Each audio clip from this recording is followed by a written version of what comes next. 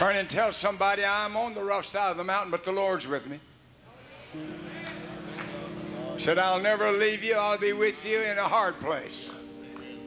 I'll be with you when you're hungry, and I'll be with you when you're fed. I will be with you when your enemies come against you. I'll be with you when they speak their word, and I hope somebody hears this. When man rises up and speaks his word, Jesus said, I'll rise up and speak my word. When man speaks against you, Jesus said, I'll speak for you. Which voice is the greatest? If somebody don't praise God, I'll preach. If you love him, raise your hands and praise God. Said that when they speak all manner of evil against you, when they yakety yak, yak, yak, talk, talk, talk, when they speak all manner of evil against you, when they do that, he said, rejoice. Why, Lord? Because I'm going to start talking when he starts talking, what man's got to say doesn't amount to anything. Folk, you're not hearing what I'm saying.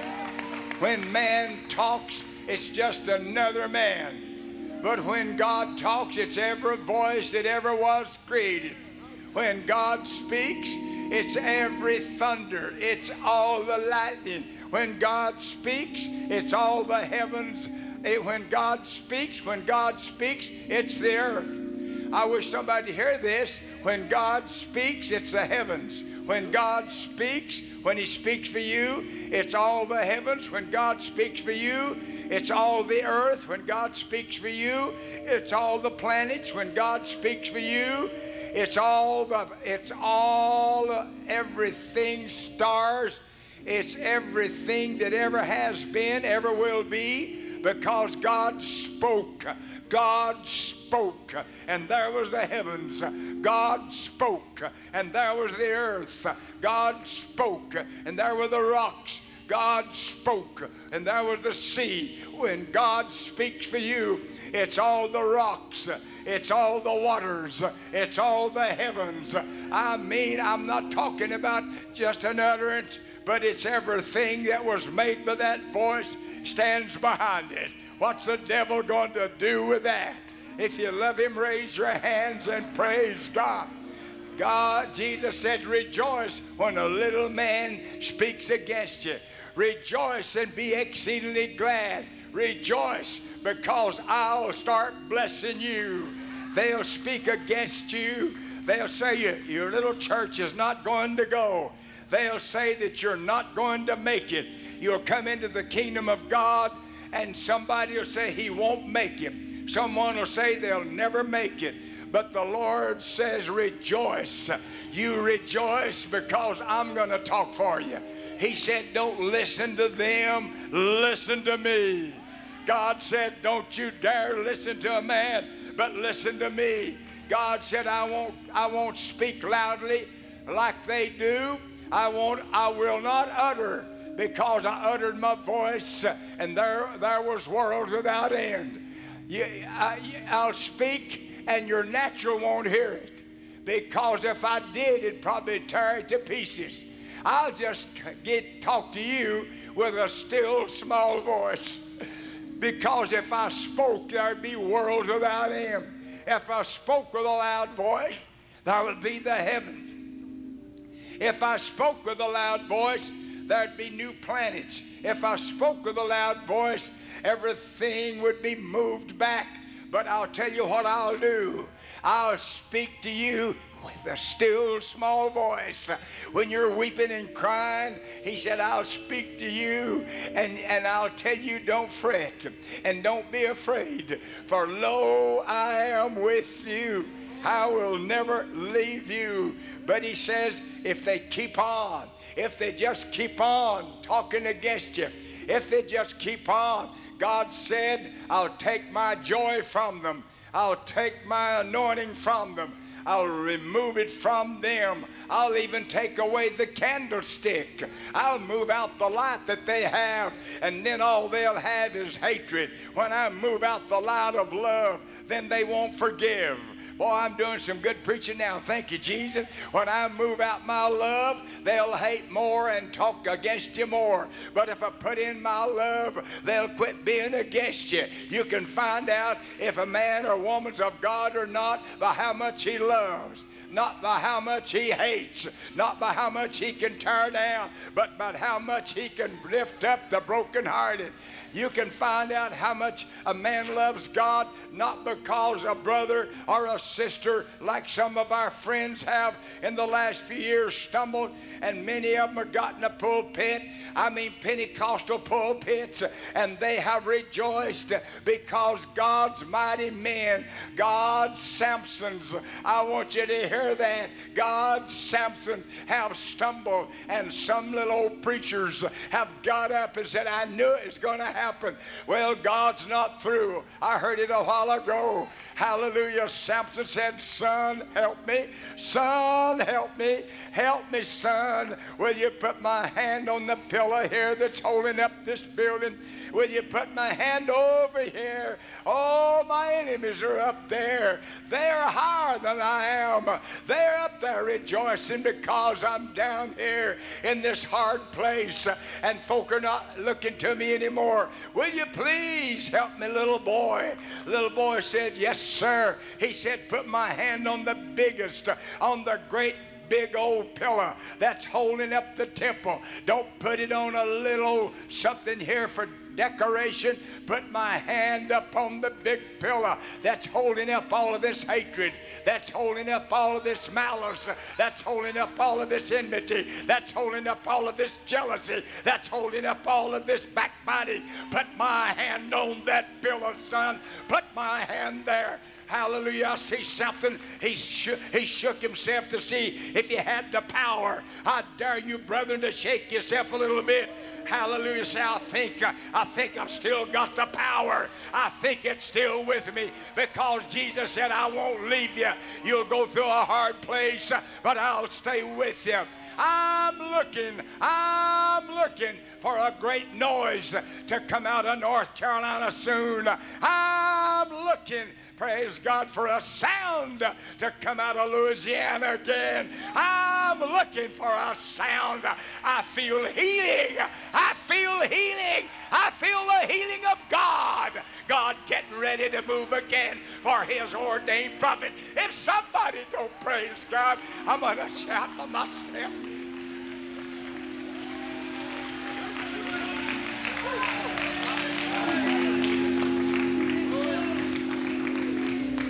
Put my hand over there, son. I hear them upstairs. I hear them.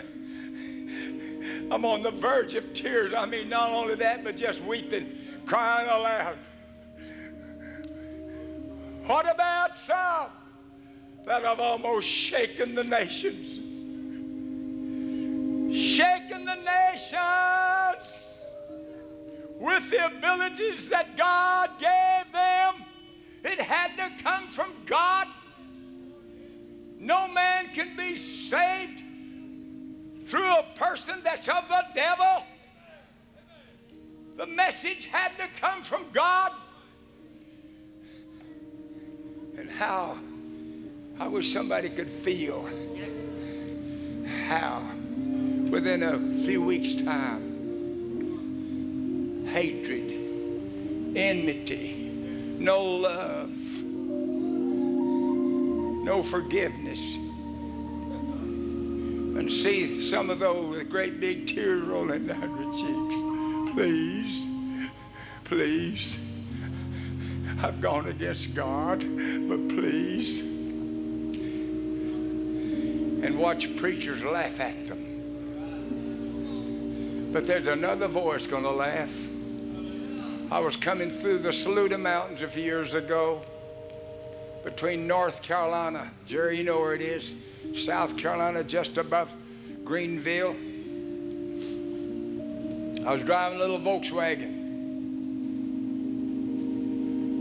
And I said, Lord, you said you'd laugh. You'd mock. You'd laugh, God. You'd laugh. And you'd mock. Let man laugh. Let man mock.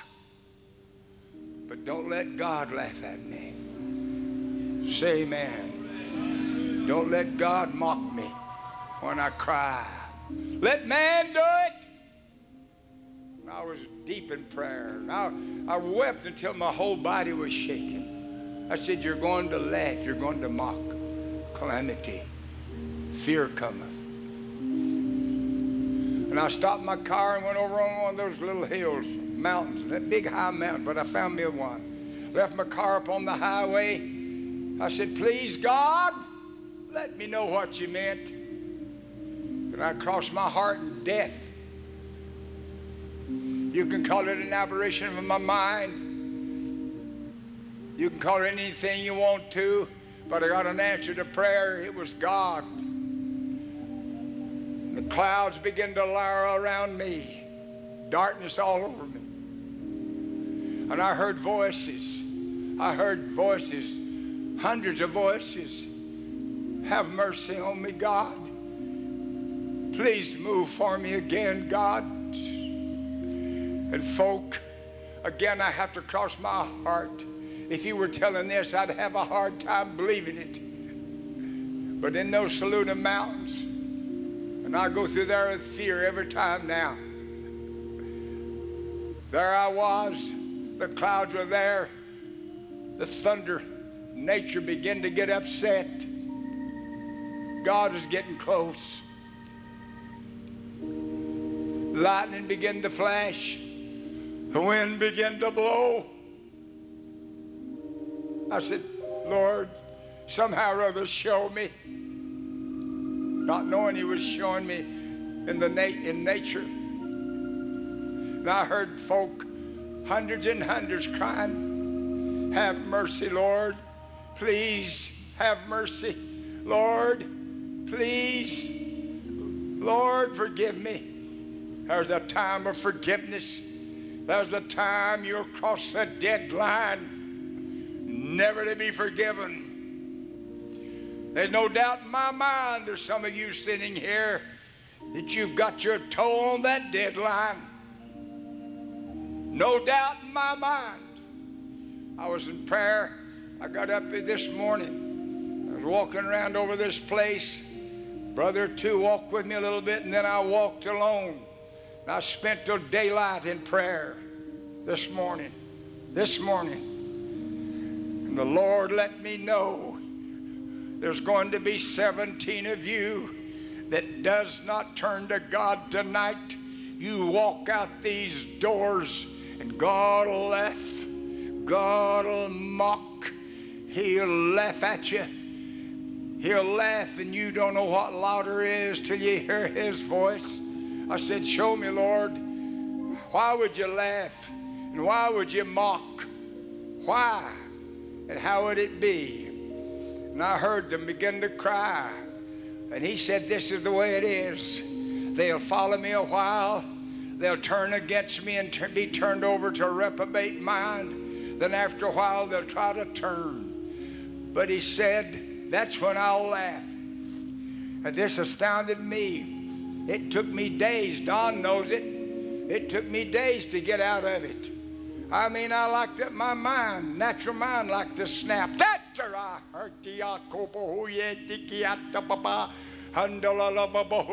I heard that, I mean, I heard them crying, and then I heard the awful voice of God. There's no way, but I heard that voice of God. Brother Hall, I can't believe that. It out of the Bible. It out of the Bible.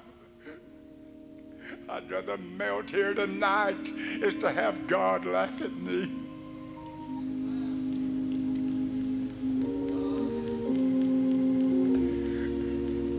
Now I heard them crying, Have mercy, and God mocked them. He said, Have mercy, have mercy. I heard it. It's not a figment of my mind. I heard it coming into my ears. Have mercy, have mercy. And he laughed. Have mercy. Ha ha ha. I'll laugh. I'll mock. I'll laugh. Yeah, there's one thing. There's a great thing that's lacking in the church. And that's holy, holy, holy. What if one person, and he's already let me know, that 17 of you will go into hell. But what if one person that you knew walked out of here and is going to burn and going to burn and be cast into hell and burn forever and ever, where their worm dieth not and the fire is not quenched? If I did what I want to do right now, I'd fall on my face. Mercy, God. Mercy. Mercy, God. Mercy, God. Mercy. Mercy, Brother Engel. Come here. Thus saith the Lord, my hand will be upon thee even greater. When thee shall stretch forth your hand, I will replace it with my hand momentarily the blind will see even at the raised voice. When you just raise your voice and speak my name. And foreign fields, when you just speak my name, saith the Lord, I will save people from the spoken word that's coming out of your mouth. Because I'm going to do a work that was not done in the days of Abraham, Isaac, and Jacob. I'm going to do a work that was not done even in the days of Peter, James, and John. I'm going to do a work that was not done even in the days of Martin Luther and John Wesley. I'm going to do a work.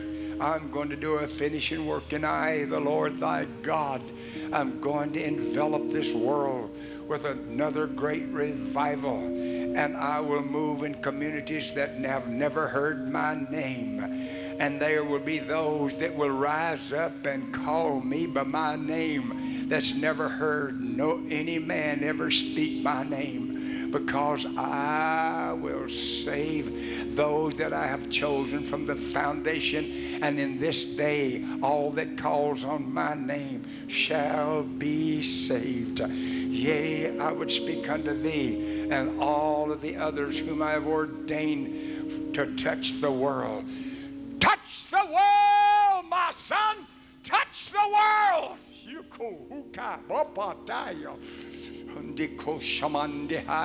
I will not only bless thy feet as you go, but I'll bless the footprints that you leave. Handi Bohoya, I will give such an anointing on you, my servants, even my pastors and my evangelists. When you go into a city, I will bless you as you go in, and I will make your feet beautiful, and I will bless them, and I will save. Yea, try me and see if I speak not, saith the Lord. I will give you more souls. I will give you more souls. I'll make a covenant with you tonight. If you'll make a covenant with me, I'll give you more souls than you've ever won. I'll yes.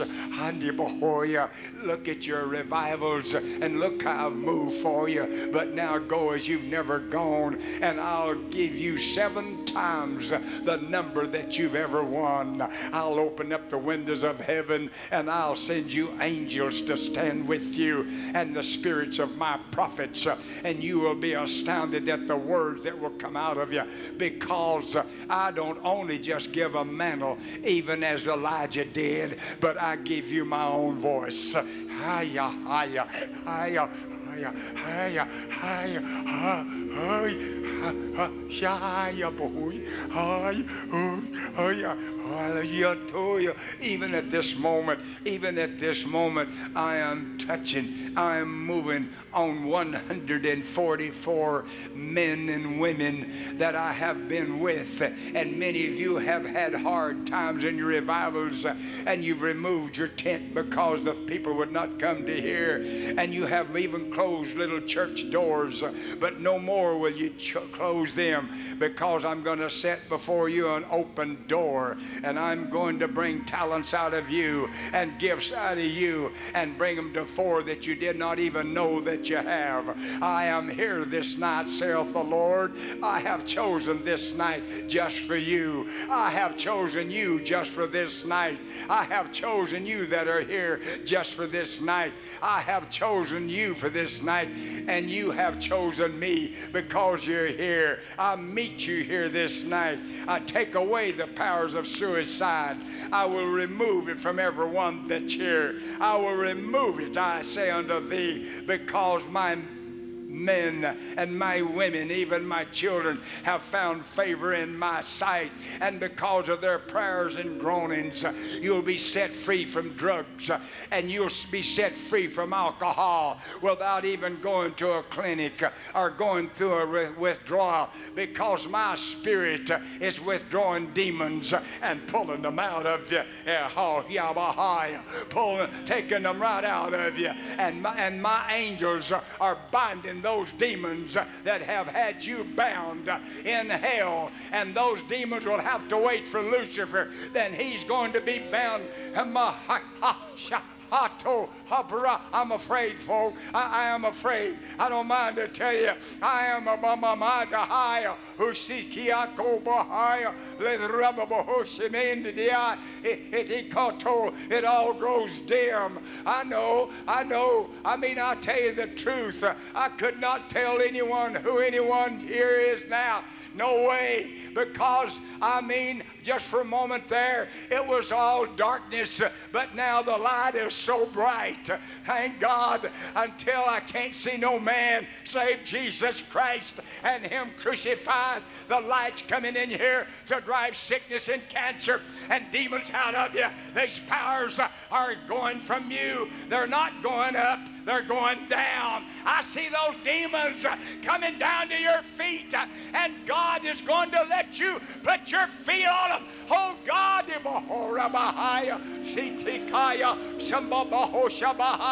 speak, man of God. For thus saith the Spirit of the Lord, I will restore unto you the years that the locust, the cankerworm, the caterpillar, and the palmer worm have robbed you of for my people shall not be ashamed, saith the Lord. I say unto you, my people shall not be ashamed. I'll bridge your service. I'll put your life back together, saith the Lord. For I am the Lord thy God. I love you. I love you with an unfeigned, unpretended love, saith the Lord. I'm putting you back together for my service. You shall do the exploit, for I've ordained it.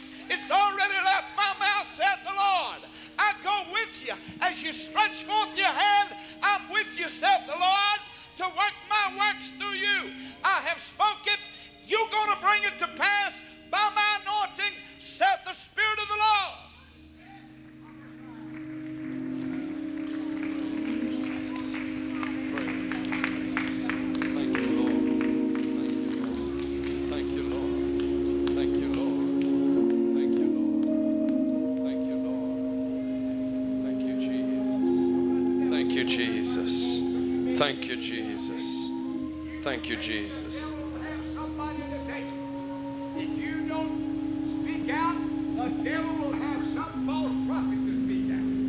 This is the night of my visitation, saith the Lord.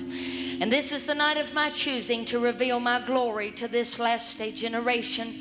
For I have prepared you in the days that have gone by that this time would arrive. And I have encouraged you and told you to shake yourself free. And I've told you that you were my sons and my daughters. And I've told you that I would never leave you and I would never forsake you. And I have told you that I would go with you through every trouble, through every storm, and through every trial. But I tell you this night, saith God, this is the night for you to come up a little bit higher. You, you will have my spirit revealed from the depth within you. You have called for me. You have searched for me. You have sought for me, saith God. You have traveled from the north and from the south and from the east and from the west. You have come from on a far journey from around this world, but you have not come to hear the voice of a man and you have not come to hear the voice of a woman. You have come to this camp meeting knowing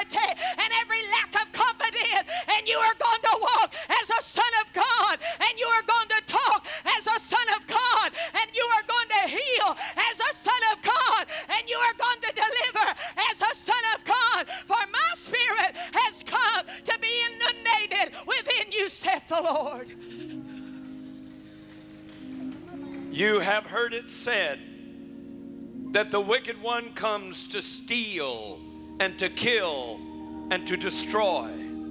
But I would say unto you that this night I come as well to steal and to kill and to destroy because I come as a thief and I will steal from the wicked one. I will remove from his grip the very ones that he thought he had control over forevermore. I come as a thief this night. I come to destroy the works of the devil. Again, I say, I come to destroy the works of the devil. Again, I say, I come to destroy the works of the devil. The wicked one came to destroy you mentally, the wicked one came to destroy you emotionally, the wicked one came to destroy you spiritually, the wicked one has come to destroy some of you physically. But this night, I come to destroy the works of the devil. I will destroy his destructiveness against you, says the Lord of hosts.